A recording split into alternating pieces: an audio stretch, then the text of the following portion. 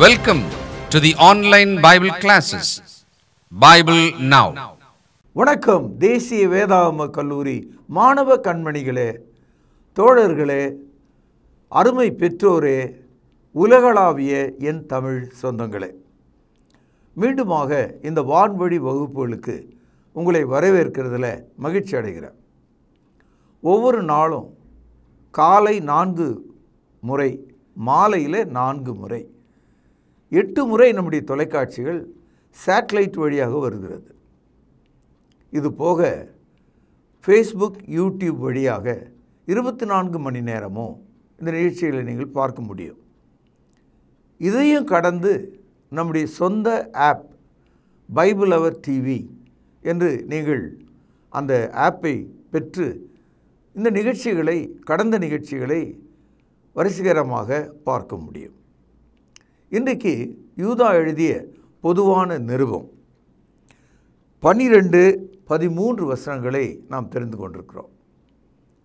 ஏற்கனவே இருபத்தைந்து வசனம் நிறைந்த இந்த கடைசி புத்தகம் வெளிப்படுத்தலுக்கு முந்தைய புத்தகம் இருபத்தி ஆறாவது புத்தகம் ஒரே ஒரு அதிகாரமுடையதாக இருந்தாலும் பக்கம் பக்கமாக எழுத வேண்டிய ஒரு பெரிய புத்தகமாகவே இது இருக்க வேண்டும். எத்தனை கருத்துகள் எத்தனை பெயர்கள் எத்தனை உதாரணங்கள் இதெல்லாம் வந்து ஒரே ஒரு காரணத்துக்காக எழுதப்பட்டிருக்கு.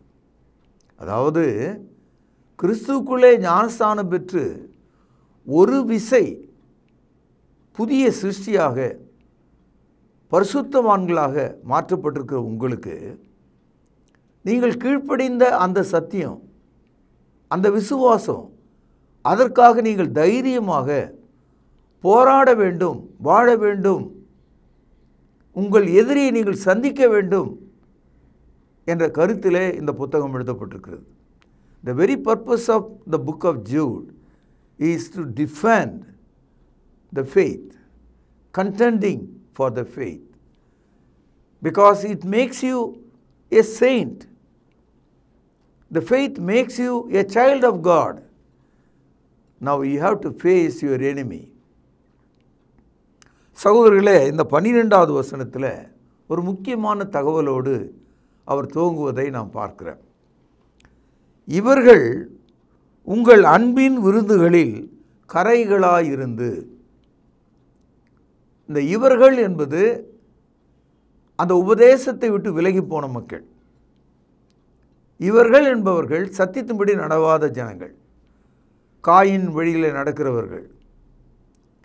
பிழையாமனுடைய பண உள்ளவர்கள் கோராவை போன்று எதிர்த்து நிற்கிறவர்கள் கிறிஸ்துவனுடைய கத்தர்த்துவத்தை மறுதளிக்கிறவர்கள். இவர்கள் உங்கள் அன்பின் விருந்துகளில் கரையாயிருந்து இந்த கரை என்ற ஒரு சொல்லை நீங்கள் பார்க்கணும். ஆங்கிலத்தில் ஸ்டெயின் கரை என்பது தேவனுடைய பார்வையில் அசுத்தம். பாவமாக இருக்கிறது. கிறிஸ்துவின் சரீரமாகிய சபையில் கரை இல்லை திரை இல்லை. அப்படிப்பட்ட ஒரு மனவாட்டியாக தேவன் நம்மை அழைத்திருக்கிறார். Without a stain or a wrinkle the church being called நம்முடைய பாவ கரைகள் அனைத்தையும் இயேசு ரத்தத்தாலே தேவன் நம்மை கழுவி புதிய சிருஷ்டியாக நம்மை மாற்றியிருக்கிறார். A Christian is a new creation all old things were passed away everything become new ரெண்டு குருந்தியர் ஐந்தாவது அதிகாரம் பதினேழாவது வசனம். ஒருவன் கிறிஸ்துக்குள் இருந்தால் எல்லாம் புதிதாயிற்று. படைவுகளெல்லாம் ஒழிந்து போயிற்று. There is no more stain or wrinkle you are a new creation அடுத்தது இந்த வரியில் உங்கள் அன்பின் விருந்து. இதை கொஞ்சம் நீங்கள் ஆழமாக கவனிக்கணும். What is that love feast இந்த இடத்துல அன்பின் விருந்து என்று நாம் படிக்கிறோமே எது அது? அதாவது வீட்டில் நம்ம சாப்பிட்ற சாப்பாடு அதை வந்து நம்ம விருந்து என்று சொல்லலாம். You can call anything what you are eating at home or at marriages or important functions you can call it feast ஆனால் அன்பின் விருந்து என்று ஒரு அடையாளம் இங்கே காட்டப்படுகிறது. This is call love feast why the love is coming in front of the feast அந்த விருந்துக்கு முன்னால் ஏன் அன்பு வருகிறது? இந்த அன்பு யாருடைய அன்பு? எதை பற்றியதாக இருக்கிறது இந்த அன்பு? தேவன் தம்முடைய ஒரே பரான குமாரனை விசுவாசிக்கிறவன் எவனோ அவன் கெட்டு போகாமல் நித்திய ஜீவனை பெறும்படிக்கு அவரை தந்தருளி இவ்வளவாய் உலகத்திலே அன்பு கூர்ந்தார் யோவான் எழுதிய சுவிசேஷம் மூன்றாவது அதிகாரம் பதினாறாவது வசனம் for God so love the world and he gave his only begotten son and whoso ever believeth on him should not perish but have everlasting life this is the love god given love christ given love.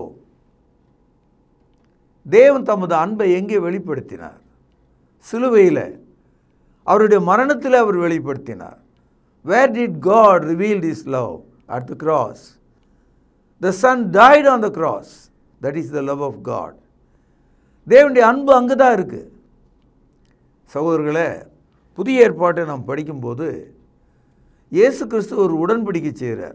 மற்ற இருபத்தாறாம் அதிகாரம் இருபத்தி ஆறாவது வசனத்தில் நம்ம படிக்கிறோம். அவர் அந்தபடியே பாத்திரத்தை எடுத்து இதை வாங்கி பானம் பண்ணுங்கள். அநேகருடைய பாவம் மன்னிப்பிற்காக சிந்தப்படுகிற என்னுடைய புதிய உடன்படிக்கையாக இருக்கிறது என்று சொன்னார். புதிய உடன்படிக்கை என்பது இயேசு கிறிஸ்துனுடைய மரணம் அவருடைய சரீரமும் அவர் சிந்திய இரத்தமும் the new covenant, which is the death of Christ there we remember Christ body and remember Christ's blood as a new covenant. புதிய உடன்படிக்கையாக இதை தான் நம்ம நினைவு கூறுகிறோம். இதை தான் அன்பின் விருந்து லவ் ஃபீஸ்ட் என்று கிறித்தவர்கள் வாரத்தின் முதல் நாளில் கூடி கொண்டாடுகிறார்கள். அப்போஸ் நடபடிகள் இருபதாம் அதிகாரம் ஏழாவது வசனத்தில் படிக்கிறோம். வாரத்தின் முதல் நாளில் சீஷர்கள் அப்பம் விற்கும்படி கூடி வந்தார்கள். Acts chapter twenty verse seven அப்படியானால் அன்பின் விருந்து த லா த லவ் ஃபீஸ்ட் என்பது எது அப்படின்னு கேட்டிங்கன்னா இயேசுனுடைய மரணத்தை நினைவு கூறுகிற அந்த விருந்து தான் அந்த விருந்தில் ரெண்டு பொருள் இருக்கிறது. புளிப்பில்லாத அப்பம் புளிப்பில்லாத திராட்சை ரசம் இதற்காகவே சீஷர்கள் சபையாக ஒன்று கூடினார்கள். அந்த அன்பின் விருந்தை அனுசரிக்க அவர்கள் ஒன்று கூடினார்கள். அவர்கள் மத்தியில் அவிசுவாசிகளாக இவர்களும் உள்ளே இருக்கிறார்கள். கள்ள உபதேசிகள் உள்ளே இருக்கிறார்கள். இயேசுவை மறுதளிக்கிறவர்கள் உள்ளே இருக்கிறார்கள். பர்சுத்தாவியை தூஷிக்கிறவர்கள் உள்ளே இருக்கிறார்கள். விசுவாச துரோகிகள் உள்ளே இருக்கிறார்கள். இவர்கள் உங்கள் அன்பின் விருந்துகளில் கரைகளாய் இருக்கிறார்கள். அப்படியானால் இன்றைக்கு சபை நாம் திரும்பி பார்க்க வேண்டும். சபை திரும்பி பார்த்தா அங்கே ஒரு ஆள் இருக்கா இங்கே ஒரு பெண் இருக்கா? அது சொல்லலை. எல்லாரும் மனிதர்கள் தான். ஆனால் அவர்களுடைய உபதேசங்கள் என்ன? நம்பிக்கைகள் என்ன?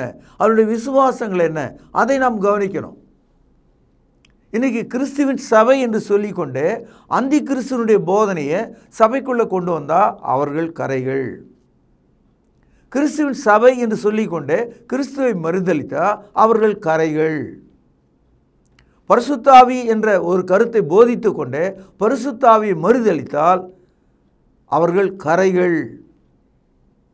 என் அன்பு சகோதரர்களே மதத்தில் இருக்கிறவன் பாழாய் போனான் மார்க்கத்தில் இருக்கிறவனும் நாசமாக போகிறான் மார்க்க அறிவு தெளிவை நமக்கு உண்டாக்கணும். இவர்கள் உங்கள் அன்பின் விருந்துகளில் யாராக இருக்கிறாங்க? கரைகளாயிருந்து.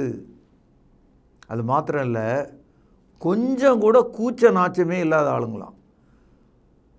இன்றைக்கி நான் நிறைய போதகர்களை பைபிளை கக்கத்தில் வச்சுக்கிட்டு அப்படியே ஓங்கி கத்திக்கிட்டு இருக்கிற ஆள்லாம் நான் பார்த்துருக்கேன். அசிங்கமான மக்கள். இவர்கள் பயமின்றி கூட விருந்துண்டு. சபையில் இவர்கள் லார்ட் சப்பர் இவங்களும் எடுத்துக்குவாங்க.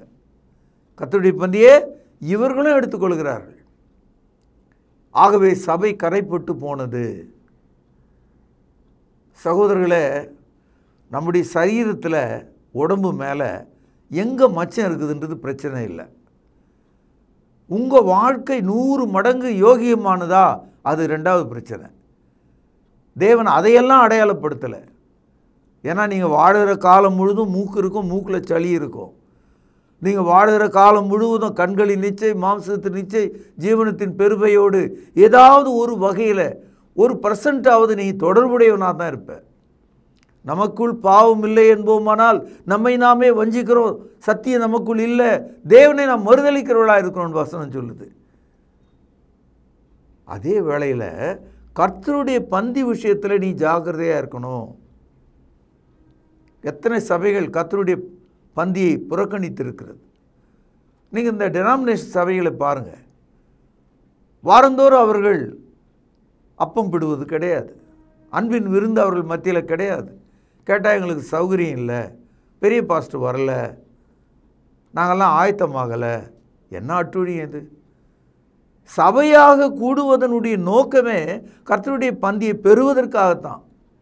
The very purpose of the Christian gathering on Sunday to break the love feast அன்பின் விருந்திலே கலந்து கொள்ள வேண்டும். உங்கள் மத்தியிலே கரைகள் இருந்தால் ஜாக்கிரதையாக இருங்கள். வெளிப்படுத்தல் இரண்டாவது அதிகாரம். பக்கம் முன்னூற்றி முப்பத்தி ஐந்து பெர்கமு என்ற சபைக்கு இதை எழுதியிருக்காரு. பதினாலு பதினைந்து வசனங்கள். ஆகிலும் சில காரியங்களை குறித்து உன் பேரில் எனக்கு குறை உண்டு. விக்கிரங்களுக்கு படைத்தவைகளை புசிப்பதற்கும் வேசிதனம் பண்ணுவதற்கும் ஏதுவான கவனிங்கள் இடரலை இஸ்ரவேல் புத்திரருக்கு முன்பாக போடும்படி பாலாக் என்பவனுக்கு போதனை செய்த பீலையாமனுடைய போதகத்தை கை கொள்ளுகிறவர்களும் உன்னிடத்தில் உண்டு. பரிசுத்த ஆவியானவர் அந்த காலத்து பெர்க்கமு என்ற சபைக்கு இதை சொல்கிறார் இந்த இடத்துல பழைய ஏற்பாட்டு உதாரணம்னு சொல்கிறார் பீலையாம் என்ற ஒரு கள்ள தீர்க்கதரிசி பாலாக் என்ற ஒரு அரசனோடு சேர்ந்து கொண்டு இஸ்ரவேல் ஜனங்களை பாவம் செய்வதற்கு வேசித்தனம் பண்ணுவதற்கு விக்கிரக வழிபாடு செய்வதற்கு நியாயம் கற்பிக்கும்படி அவன் தீர்க்கதரிசி என்ற பெயரில் பொய் சொல்ல ஆரம்பித்தான் எல்லாம் சரிதான். இப்படியெல்லாம் பண்ணலாம். சிலை வணக்கம் செய்யலாம். மனிதர்களை பணிந்து கொள்ளலாம். புளிப்புள்ள அப்பங்களை எடுத்துக்கொள்ளலாம் எந்த நாளில் வேணாலும் கத்தருடைய பந்தியை நம்ம எடுத்துக்கலாம். புதிதாக கல்யாணம் ஆன மக்களுக்கு அன்னைக்கே கத்தருடைய பந்தி கொடுக்கலாம். அது மாதிரிலாம் சபைகளை செய்கிறாங்க இப்போல்லாம். Soon they are married the first thing the pastor somebody there இந்த church they are giving are giving to them இதையெல்லாம் நம்ம சபைகளை இன்றைக்கு பார்க்குறோம். அதே போல் செத்து போகிற ஆளுக்கு கத்தருடைய பந்தியை கொண்டு போய் கொடுக்குற ஆட்கள்லாம் நான் பார்த்துருக்கேன். எல்லாம் ப்ராடு பசங்க. இவையெல்லாம் வசனத்துக்கு விரோதமான ஆட்கள். இவர்களுக்கு இன்னொரு பெயர் பீலையாம். பீலையாமை பற்றி நம்ம நேற்றைய பாடத்தில் படித்தோம் மேன் ஆஃப் கிரீட் பண ஆசை உள்ள ஆள். கள்ள தீர்க்கு தரிசனம் சொல்லுவோம். அதுபோல் பணத்துக்காக உபதேசம் பண்ணுகிறவர்கள் தங்களுடைய சொந்த லாபத்துக்காக உபதேசம் பண்ணுகிறவர்கள் கர்த்தருடைய பந்தியை என்ன வேணாலும் செய்ய தயாராக இருக்கான். புளிப்பில்லாத அப்பம்னா கடையில் வாங்கின ரொட்டியை கொடுக்குறான் புளிப்பில்லாத திராட்சை ரசம் சொன்னால் கடையில் வாங்கின கிசானை கொண்டாந்து கொடுக்குறான் என்ன அநியாயம்? நான் சில சபைகளில் உப்புமாவும் காப்பியும் வச்சு இப்படியே கூட நாம் அனுசரிக்கலாம். பொங்கலும் வடையை வைத்து இப்படி நாம் அனுசரிக்கலாம். நாம் இந்துக்கள் அதிலிருந்து வெளியே வந்தவர்கள். ஆகவே நாங்கள் பொங்கலை படைக்கிறோம் என்று சொல்கிற தத்துவ முட்டாள்கள் இருக்கிறார்கள். என் அன்பு சகோதரர்களே திருச்சபையில் நாம் பொங்கலை தின்னவோ உப்மாவை தின்னவோ புளித்த ரொட்டியை தின்னவோ கோலா போன்றவைகளை குடிக்கவோ வரவில்லை. புளிப்பு அற்ற திராட்சை ரசம். அன்லீவன்ட் ஒயின் புளிப்பு அற்ற அப்பம். அன்லீவன் பிரெட் ஒரு கண்டிஷன் அது. அது ஒரு பலி. இப்படிப்பட்டவைகளை செய்வதற்கு மறைந்திருக்கிற மக்கள் சபையிலே இருக்கிறார்கள். இப்பொழுது வெளிப்படுத்தல் ரெண்டு பதினைந்து. அப்படியே நிக்கலாய் மதஸ்தருடைய போதகத்தை கைக்கொள்கிறவர்களும் உன்னிடத்தில் உண்டு. அதை நான் வெறுக்கிறேன். நிக்கலாய்ட்ஸ் என்ற ஒரு குரூப் முதல் நூற்றாண்டு காலத்திலேயே இவர்கள் கிரேக்கர்கள். தீனால் வணக்கம் டயனா வர்ஷிப்பர்ஸ் அங்கிருந்து வர கூட்டம் இது. அதே போல் இன்றைக்கும் சபையில் பார்த்தீங்கன்னா குத்து விளக்கு ஏற்றுதல் தேர் இழுத்தல் தேர் பவனி அகல் விளக்கு பதிலாக மெழுகுவர்த்தி அம்பிகைக்கு பதிலாக மரியாள். அந்த தேவிக்கு பதிலாக இங்கே மரியாள். அதாவது எல்லா வடிவங்களையும் எல்லா விக்கிரக வழிபாடுகளையும் அப்படியே மாற்றி மாற்றி மாற்றி உள்ளே கொண்டு வந்தாங்க. அதே மாதிரி தான் நிக்கலாய் மதஸ்தர் சகலவற்றையும் உள்ளே கொண்டு வந்தாங்க. இவைகளை நான் வெறுக்கிறேன்.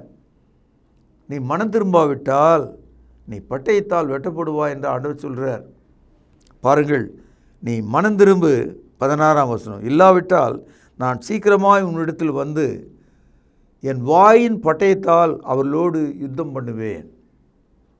ஆகவே சபையில் உங்கள் அன்பின் விருந்துகளில் கரைகளாயிருந்து பயமின்றி விருந்துண்டு. அடுத்தது கவனிங்க தங்களை தாங்களே மேய்த்து கொள்கிறார்கள். இப்போ என்ன மாதிரி ஒரு ஆள் எழுந்து நின்று இதெல்லாம் தவறுன்னு சொன்னால் அவங்க கேட்க மாட்டாங்க. எங்களுக்கு தெரியும் எல்லாம். எங்கள் பைபிள் என் கையில் தான் இருக்குது கடவுள் எங்களுக்கு கொடுத்த வெளிப்பாடின்படி நாங்கள் நடக்கிறோம். இது நியாயம் அல்ல. அதாவது தங்களை தாங்களே அவர்கள் மேய்த்து கொள்கிறாங்களாம் நமக்கு ஒரு மெய்ப்பன் தேவை. இயேசு கிறிஸ்துனுடைய மெய்ப்பன். அந்த மேய்க்கிற வேலையை அப்போஸ்டர்களுக்கு அவர் தந்தார். அப்போஸ்டர்கள் சபையில் ஐந்து விதமான ஊழியங்கள் வழியாக திருச்சபை இன்னைக்கு மேய்க்கிறார். அப்போஸ்தலர் தீர்க்கதரிசிகள் போதகர்கள் சுவிசேஷகர்கள். ஆகவே என் அன்பு சகோதரர்களை சபையை மேய்ப்பதற்கு தேவன் கண்காணிகளை ஏற்படுத்தியிருக்கிறார். நல்ல மேய்ப்பனுக்கு உரிய சபையாக நாம் இருக்க வேண்டும். காணாமற் போன ஆடுகளைப் போல் இருந்த நமக்கு நல்ல மெய்ப்பனாகி திருச்சபை தேவன் நமக்கு தந்திருக்கிறார் Christ is our true shepherd Now the elders and the prophets are the shepherds. We have elders, teachers, and evangelists to help us to lead as a flock. தேவனுடைய மந்தையாக வழிநடத்தப்பட தேவன் ஐந்து வித்தியாசப்பட்ட மெய்ப்பர்களை நமக்கு தந்திருக்கிறார். ஆக இந்த மெய்ப்பர்களின் கீழே நாம் நன்றாக மேய்க்கப்பட வேண்டும். ஆனால் இவங்க எங்களுக்கு அதெல்லாம் தேவையில்லைங்க. நாங்கள் எங்கள் வீட்டிலையே கத்தருடைய பந்தி எடுத்துக்குவோம். எங்கள் இஷ்டத்துக்கு நாங்கள் எடுத்துக்குவோம். நாங்கள் டிவி பார்த்துக்கிட்டே கத்தருடைய பந்தி எடுத்துக்குவோம். ஒரு கையில் பரீட்சைக்கு புக்கு வச்சுன்னு படிச்சுக்கிட்டே கத்தருடைய பந்தியை எடுத்துக்குவோம். என்ன ஆட்டம்? என்ன மோசம் இது? பரிசுத்த பந்தியை தவறாக கையாளுகிற மனிதன் மரணத்துக்குரியவனாக இருக்கிறார் ஒன்று குருந்தியர் பதினோராம் அதிகாரம் பக்கம் இரநூத்தி முப்பத்தி ஏழு இருபது இருபத்தோரு வசனங்கள். நீங்கள் ஓரிடத்தில் கூடி வரும்போது அப்போது நம்ம வீட்டில் இருக்கிற எல்லா ஜனமும் அன்பின் விருந்தை அனுசரிப்பதற்காக ஓரிடத்தில் கூடுகிறோம். நீங்கள் ஓரிடத்தில் கூடி வரும்போது அவனவன் தன் தன் சொந்த போஜனத்தை முந்தி சாப்பிடுகிறான் ஒருவன் பசியாக இருக்கிறான் ஒருவன் வெறியாக இருக்கிறான். இப்படி செய்கிறது கர்த்தருடைய ராபோஜனம் அல்லவே. சில பேர் ரொம்ப தூரத்துலேருந்து சபை கூட வந்திருக்காங்க. வரும்போது அவங்க கட்டுச்சோறையும் எடுத்துகிட்டு வந்திருக்காங்க. அவங்களுடைய சாப்பாட்டை அவங்க சாப்பிட்டாங்க. சில பேர் எடுத்துகிட்டு வரல அவங்க பசியாக இருந்தாங்க. இதெல்லாம் உங்களோட வச்சுக்கோங்க. நாம் வந்து ராபோஜனம் செய்வதற்காக வந்தோம். கத்தருடைய பந்தி பெறுவதற்காக வந்தோம். கத்தருடைய பந்தியை நாம் எப்படி எடுத்துக்கொள்ள வேண்டும் என்று வசனம் சொல்கிறது. பதினோராம் அதிகாரம் இருபத்தி ஆறாவது வசனம். ஆகையால் நீங்கள் இந்த அப்பத்தை புசித்து இந்த பாத்திரத்தில் பானம் பண்ணும்போதெல்லாம் இந்த இந்த என்ற சொல் சொந்த போஜனத்தை குறிக்கலை சொந்த சாப்பாட்டை குறிக்கலை. நாம் சபையாக அன்பின் விருந்துக்காக கூடணுமே அந்த போஜனத்தை குறிக்குது. It's not talking about our family food it's talking about our communion the Lord's table ஆகையால் நீங்கள் இந்த அப்பத்தை புசித்து மறுபடியும் பாருங்கள் இந்த பாத்திரத்தில் பானம் பண்ணும்போதெல்லாம் கர்த்தர் வருமளவும் அவருடைய மரணத்தை தெரிவிக்கிறீர்கள். வீட்டில் நம்ம சாப்பிட்றோம் ஏப்பம் விடுறோம் மகிழ்ச்சி அடைகிறோம். அது இயேசுனுடைய மரணத்தை தெரிவிப்பதற்காக அல்ல நம்முடைய வயிற்றின் பசியை ஆற்றுவதற்காக. ஆனால் சபையிலே நாம் எடுத்துக்கொள்கிற கத்தருடைய பந்தி இயேசுனுடைய மரணத்தை தெரிவிப்பதற்காக. இருபத்தி ஏழாம் வசனம் பாருங்கள். இப்படி இருக்க எவன் அபாத்திரமாய் கத்தருடைய அப்பத்தை புசித்து அவருடைய பாத்திரத்தில் பானம் பண்ணுகிறானோ அவன் கத்தருடைய சரீரத்தையும் இரத்தத்தையும் குறித்து கவனிங்கள் குற்றம் உள்ளவனாய் இருக்கிறான் கருத்துங்களா? When you are gathered together to celebrate the love feast if you misunderstand misappropriately taken you are guilty of condemnation எவன் ஒருவன் கத்தருடைய பந்தியை தவறாக அவிசுவாசம் உள்ளவனாக அர்த்தம் தெரியாமல் புசிக்கிறானோ அவன் குற்றமுள்ளவனாக இருக்கிறான் ஆகவே இருபத்தெட்டாம் வசனம் பாருங்கள் எந்த மனுஷனும் தன்னைத்தானே சோதித்தறிந்து இந்த அப்பத்திலே புசித்து இந்த பாத்திரத்தில் பானம் பண்ண கடவன். கவனிங்கள் இருபத்தொன்பதாம் வசனம். எண்ணத்தினானில் அபாத்திரமாய் போஜனம் பண்ணுகிறவன் கர்த்தருடைய சரீரம் இன்னதென்று நிதானித்து அறியாதனால் தனக்கு ஆக்கினை தீர்ப்பு வரும்படி போஜனம் பண்ணுகிறான். அதாவது சபையில் தங்களை தாங்களே மேய்த்து கொண்டு அன்பின் விருந்திலே கரைகளாக இருக்கிற மக்கள் நியாய தீர்ப்பின் கீழ் இருக்கிறார்கள். அவர்கள் மீது தேவனுடைய கோபம் ஆக்கினை தீர்ப்பு வருகிறது. ஆகவே உங்கள் அன்பின் விருந்துகளிலே அவர்கள் உங்கள் கூடவே இருந்து கரைகளாக பந்தியிலே சேருகிறார்கள். இவர்களைத்தான் பீலையாமின் போதகம் நிக்கலாய் மதஸ்தருடைய அனுபவம்.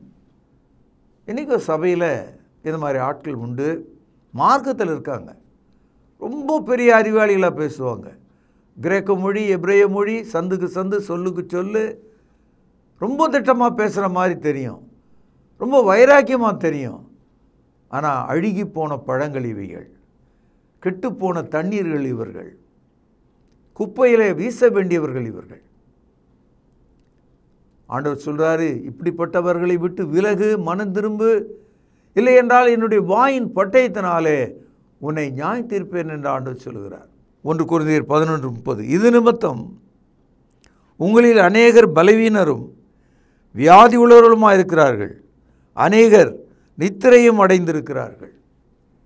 Misusing Lord's table put into sickness finally you will கர்த்தருடைய பந்தியை தவறாக எடுத்துக்கொள்கிற ஆள் முதல்ல வியாதிப்படுவார். ஆவிக்குரிய வியாதி. அதுக்கப்புறம் மரணம் அடைஞ்சிருவார் அவர். ஆதாம் ஏவாள் ஏதேன் தோட்டத்தில் மரணம் அடைந்தது போல ஆவிக்குரிய மரணத்தை அடைவார்கள். இதை தான் யூதா பனிரெண்டாவது வசனத்தில் பார்க்கிறோம்.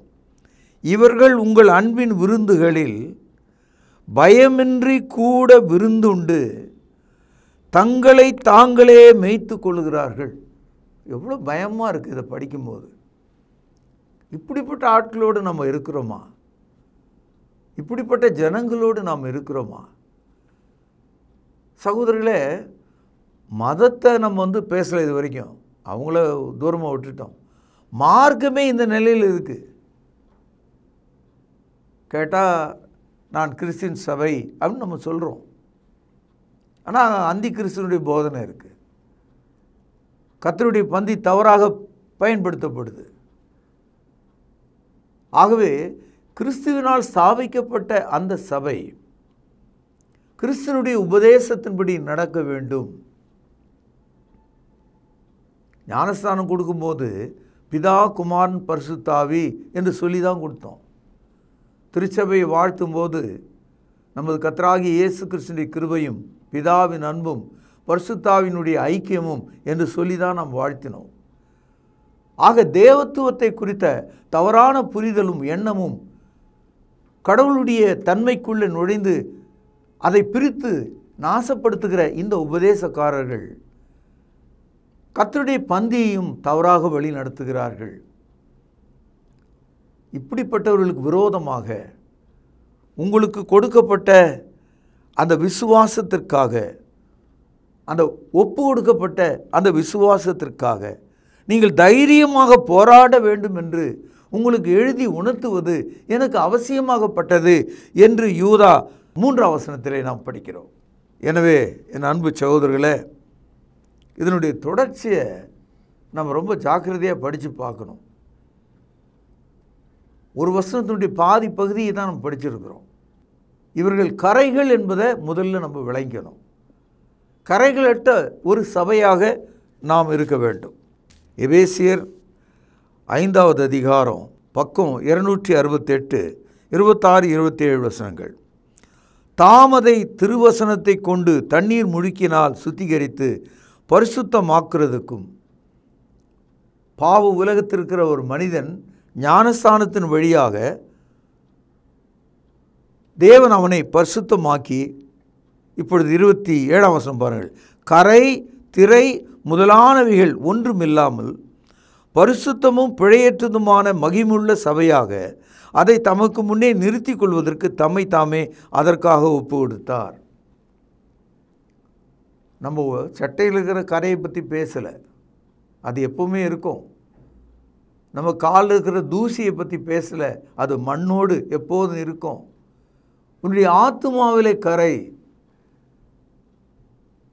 இந்த கரை உடைய மனிதர்கள் உங்கள் அன்பின் விருந்துகளில் இருந்து துணிகரமாக பாவம் செய்து பைபிளை கீழே வைத்துவிட்டு என்னுடைய போதனையை கேள் என்று சொல்வார்கள். எத்தனையோ பெரிய சபை தலைவர்கள் ஐயா இப்படி பைபிளில் எழுதியிருக்கேனா? பைபிளை மூடு. கடவுள் எனக்கு சொன்னதை நான் உனக்கு சொல்கிறேன் இது மாதிரி சொல்கிற ஆள் எத்தனை பேரை நம்ம பார்க்குறோம்? இதனால்தான் கிறிஸ்தவ மார்க்கம் கீழே விழுந்து மதமாக மாறிவிட்டது. இந்த மதத்தில் பைபிளையும் கையில் வச்சுக்கிட்டு தங்களுடைய சொந்த போதனையும் சொல்லிக்கிட்டே இருக்காங்க. அவள்தான் அந்த பீலையாவின் போதனையாளர்கள். அவர்கள்தான் நிக்கலாய் மதத்தின் போதனையாளர்கள். இவர்கள் கரைகள். ஆகவே ஜாக்கிரதையாயிருங்கள் make your holy communion fellowship sincere and obedient to God உங்கள் பரிசுத்த கருணையாகிய அன்பின் பலியை ஜாக்கிரதையாக இப்படிப்பட்ட தீமை நின்று விலகி பரிசுத்தமாக அனுசரியுங்கள். எவ்வளோ லாஜிக்கான ஒரு பாயிண்ட் பாருங்கள் இவர்கள் உங்கள் அன்பின் விருந்துகளில் கரைகளாக இருந்து தங்களை தாங்களே மேய்த்து கொள்வார்கள். அவர்கள் உபதேசத்துக்கு அடிமைகளாக மாற மாட்டாங்க.